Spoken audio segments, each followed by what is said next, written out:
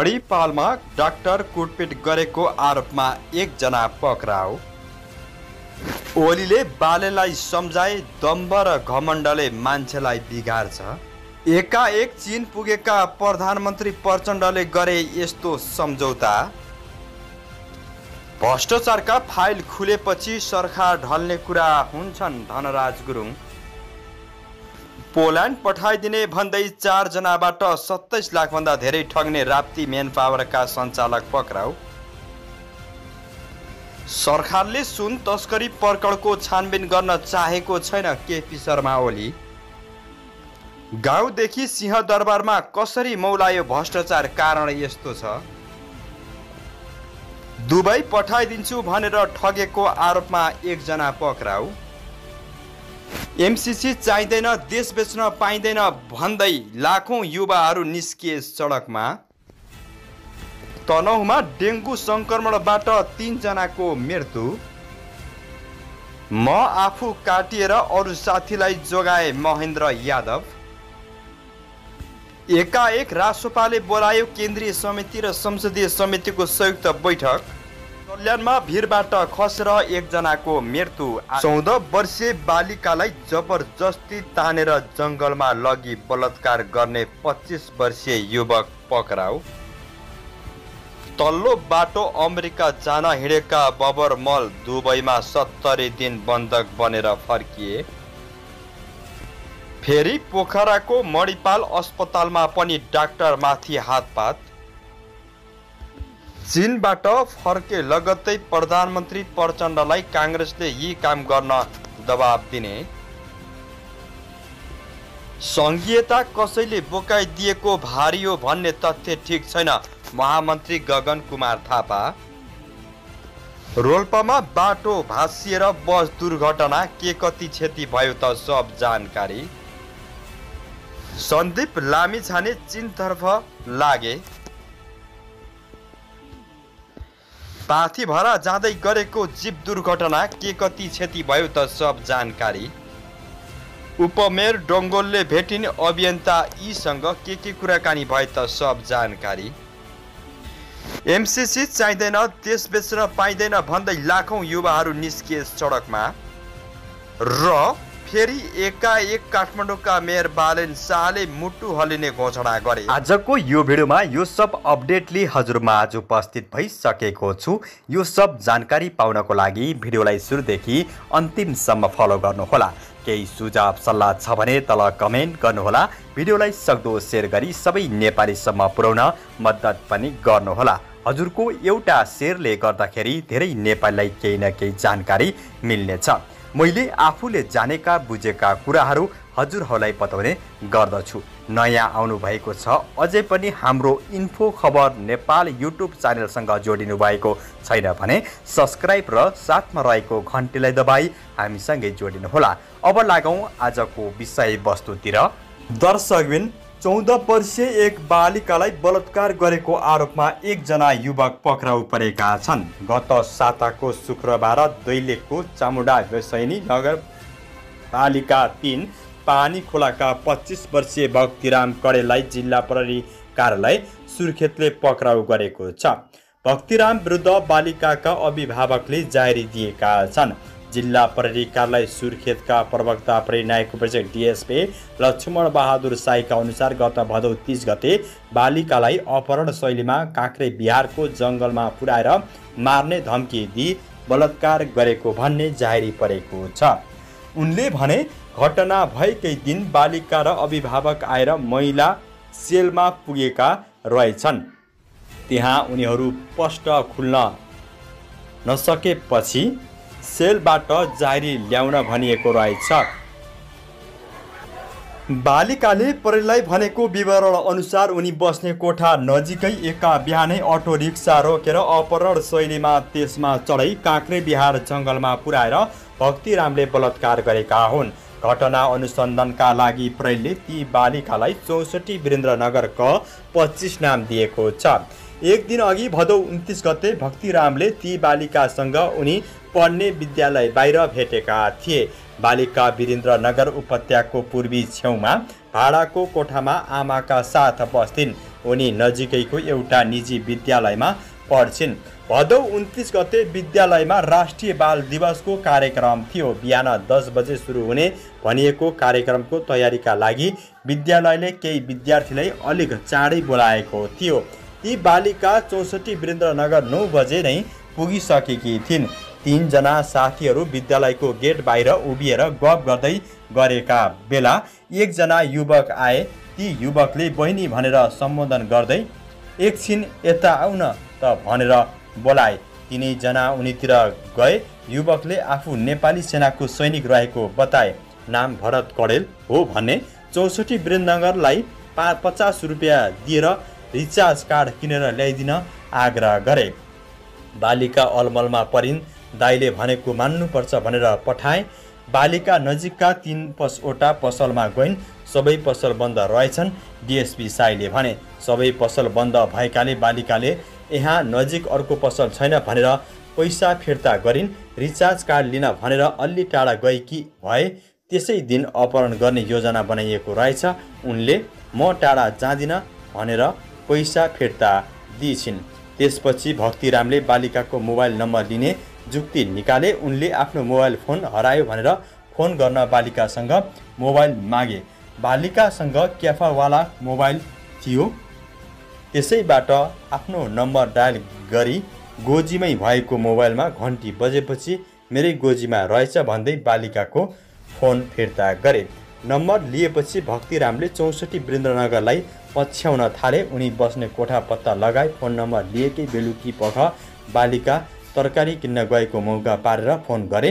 DSP साईले घटना विवरण बताए फोन गरेर मेरी बहिनी छैन म तिमीलाई बहिनी बनाउँछु एकछिन भेट्छु भनेर बालिकाले स्वीकार गर्दै फोन काटेकी रहेछिन् भोलिपल्ट भदौ तिस गते बिहान विद्यालय जानु अघि बालिका आफ्नो कोठा नजिकै एउटा पसलमा पेन्सिल र इरे इरेजर किन्न गइन्। अघिल्लो दिन बिहानैदेखि पछ्याइरहेका भक्तिराम मौका कुरेर नजिकै बसेका रहेछन्। तत्कालै बालिकालाई भेटेर हिजो मलाई भेट्न आइनौ आइनौ। आज तिमीहरूसँग कुरा गर्नु छ भनेछन्। बालिकाले इन्कार गरिन् तर भक्तिरामले हात च्याप्प समातेर नजिकै रोक रोकिराखेको एउटा अटो रिक्सामा जबरजस्ती चढाएर कुदाउन लगाए। उनले बालिकाको मोबाइल खोसेर आफ्नो गोजीमा हाले। केही बोल्न नदिई सुर्खेत बस पार्कको तल्लो गल्लीमा रहेको एउटा होटल नजिकै पुऱ्याएर अटो रिक्सा रोकियो। बालिका विद्यालय पोसाक लगाएर स्कुल जान तयार थिइन्। भक्तिरामले नयाँ लुगा किनिदिन्छु तिमी लुगा फेर भने। बालिका किन लुगा किन लुगा फेर्ने? फेर्दिन भनेर चर्को स्वरमा कराइन्।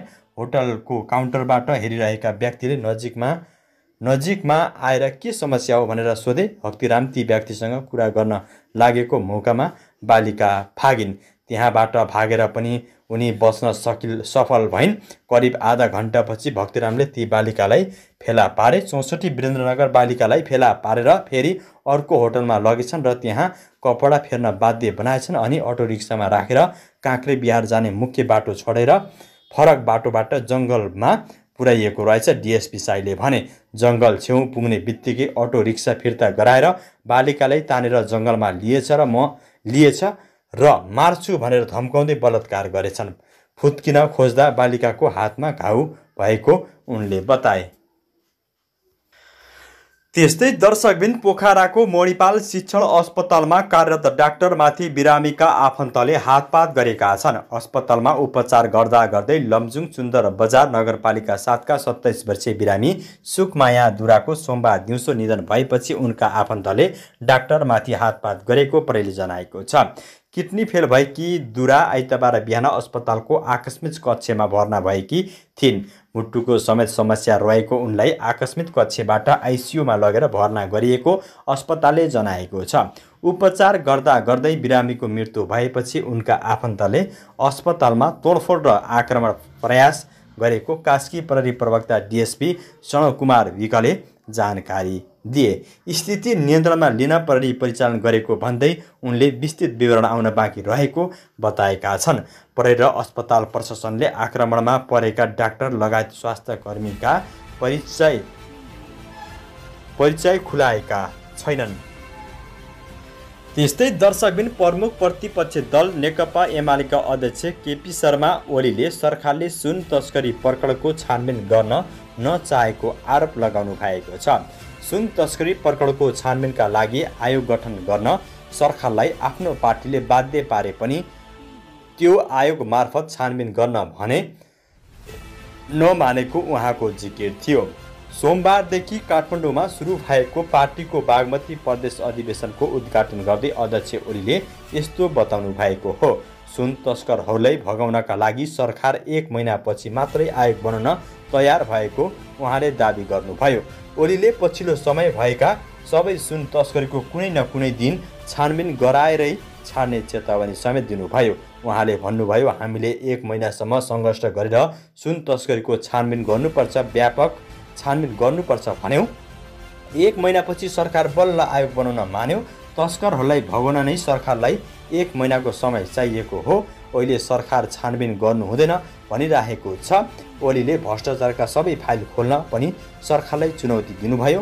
भ्रष्टाचारका फाइल खोले जेल पर्नेमा सत्तारूढ दलकै नेताहरू हुने उहाँले दावी गर्नुभयो। प्रधानमन्त्री पुष्पकमल दाहाल प्रचण्डले नागरिकको आवाज संसदमा उठ्न नदिनका लागि संसद लामो समयसम्म स्थगित गर्न ठाडो आदेश दिएको ओलीले बताउनुभयो। अध्यक्ष ओलीले सरकार निकममा भएको भन्दै उसलाई सुझाव दिनुको कुनै अर्थ नरहेको उल्लेख गर्नुभयो। त्यस्तै दर्शकबिन सल्यानमा घाँस काट्न जङ्गल गएको बेला भिरबाट लडेर एकजनाको मृत्यु भएको छ। वनगाड कुबिन्डे नगरपालिका एक बालुवा सङ्ग्री नजिकै मङ्गलबार बिहान घाँस काट्न गएका अन्दाजी पैँतालिस वर्षीय दिपक कामीको भिरबाट खसेर मृत्यु भएको हो। घाँस काट्ने क्रममा भिरबाट चिप्किएर भेरी करिडोर सडकमा खसेका उनको घटनास्थलमै मृत्यु भएको प्रहरीले जनाएको छ। त्यस्तै दर्शकबिन रोजगारीका लागि दुबई पठाउँछु भनेर ठगेको आरोपमा प्रहरीले एकजनालाई पक्राउ गरेको छ। पक्राउ पर्नेमा रौतहटको विश्रामपुर घर भएर काठमाडौँ बस्ने मोहम्मद शेख इरफान सिद्दिको रहेका छन्। चौतिस वर्षीय मोहम्मद शेखलाई काठमाडौँको नागार्जुनबाट पक्राउ गरिएको उपत्यका अपराध अनुसन्धान कार्यालयका एसपी रविन्द्र रेग्मीले जानकारी दिनुभयो।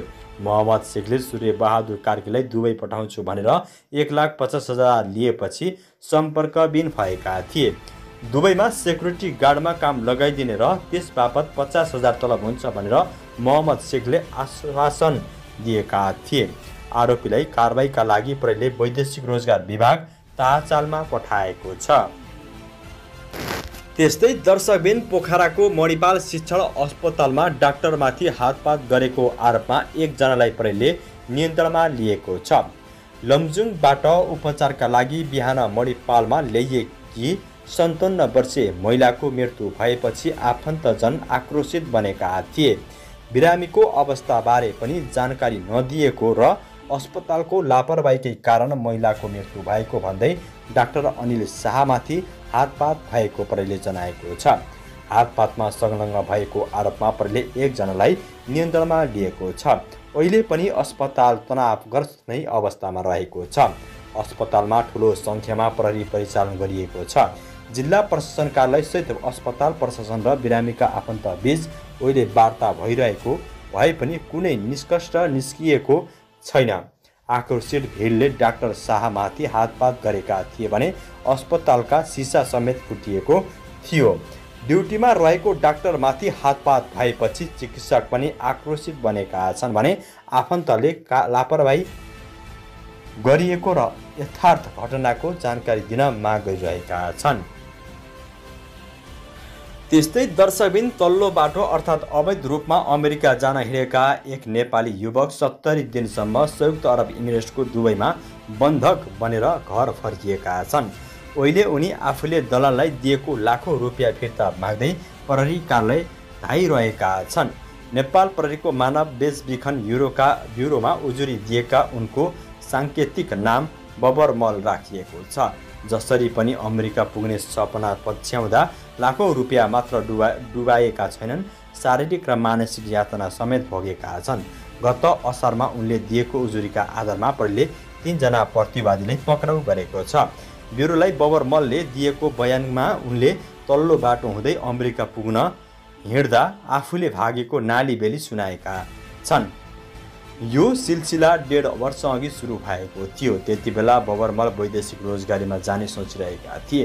दाङको घोराइबाट काकाको घरमा बसिरहेका उनको चिन्जान त्यही घर भाडामा बसिरहेको एकजना महिलासँग भयो। त्यसपछि सुरु भए दुःखका